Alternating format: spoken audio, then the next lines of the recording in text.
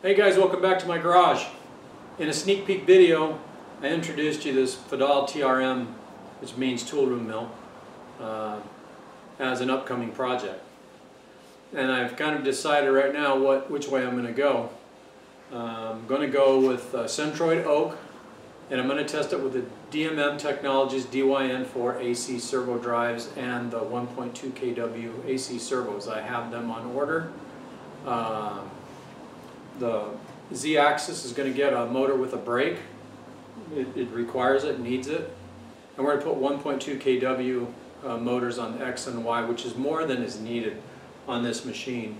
But that's what DMM has in NEMA 42 frames. So that, that means that the frame will be a direct bolt onto the machine. The coupler will be a direct, should be a direct bolt on to the shaft because they're, they're imperial shafts and it's a standard NEMA 42 frame.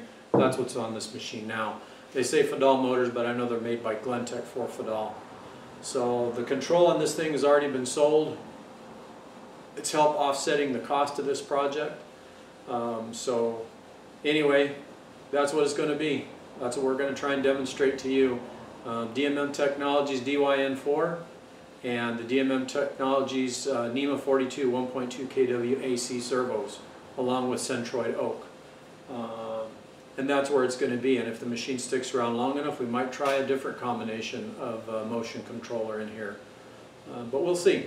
So anyway, just a quickie update on the Fadal. Um, the next video will show you me removing the components from this machine and uh, um, kind of basic teardown, and maybe we'll just kind of discuss some strategy and so forth. But right now parts are on order from DMM Technologies to get this thing retrofitted. So until next time, talk to you soon.